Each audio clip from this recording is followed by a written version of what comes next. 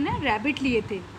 तो क्या हुआ कि हमें पता नहीं था कि इनको नहला नहीं सकते या गीला नहीं कर सकते।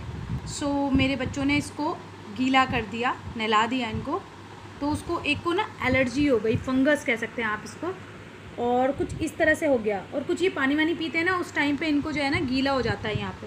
तो हमने काफ़ी गूगल पे सर्च मारा, हमें इसकी नॉलेज नहीं मिली।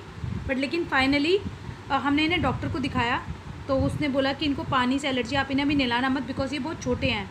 जब ये बड़े हो जाते हैं ना तो उनकी इम्यूनिटी सिस्टम बढ़ जाता है और उससे ये नहाने या किसी भी तरह की बीमारी से लड़ने के लायक हो जाते हैं।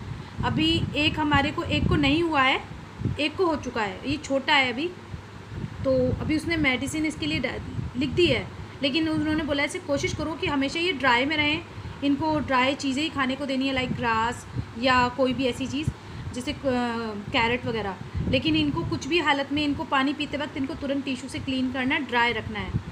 सो so, प्लीज़ आप भी अपने अगर रैपिड रखें तो ऐसा रखें कि कोशिश करें कि वो गीले में ना जाए ना ज़्यादा पानी पिए